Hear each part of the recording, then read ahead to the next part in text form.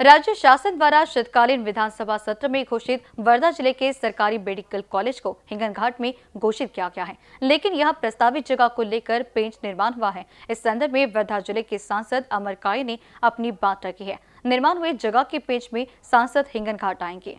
पिछले सात महीने पहले हिंगन घाट में घोषित सरकारी मेडिकल कॉलेज जगह को लेकर अभी तक प्रस्तावित क्या नहीं किया है। मल कंस्ट्रक्शन ने दान में दे वेया की जगह को जिला अधिकारी वर्धा संबंधी मंत्रालय में पत्र भेजने के बाद इस जगह को लेकर बड़ा विरोध हुआ है। उप जिला रुग्णालय परिसर के पास सरकारी जगह रहते हुए दान दी हुई जगह में सरकारी मेडिकल कॉलेज क्यों यह विरोध हुआ है। इसके लिए सांसद ने अपनी भूमिका रखते हुए जगह का निरीक्षण करने हेतु जनमत को ध्यान में रखते हुए निर्णय लिया जाएगा। इसलिए खुद सांसद अमर काळे हिंगन घाट यहाँ जल्द ही आने वाली है। तिथल्या स्थानिक जी संघर्ष समिती आहे जी त्या दवाखान्याच्या जागेच्या संदर्भामध्ये त्या ठिकाणी लढाई लढते.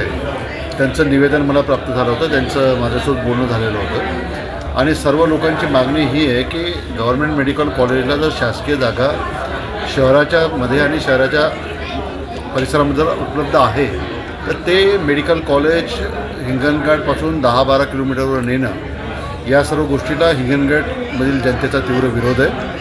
आणि लोकांच्या ज्या भावना आहेत त्या लक्षात घेऊन येत्या एक ते दोन दिवसामध्ये मी स्वतः हिंगणघाटला जाणार आहे आणि त्या जागेची प्रत्यक्ष पाहणी करून संबंधित अधिकाऱ्यांसोबत चर्चा करून जनमताच्या जनभावनेचा आदर करून ते हॉस्पिटल हे हिंगणघाटमध्येच व्हायला पाहिजे याकरता या विभागाचा खासदार म्हणून मी पूर्ण प्रयत्न करणार आहे. एनबीसी न्यूज के लिए हिंगणघाट से रवि येनोरकर की रिपोर्ट।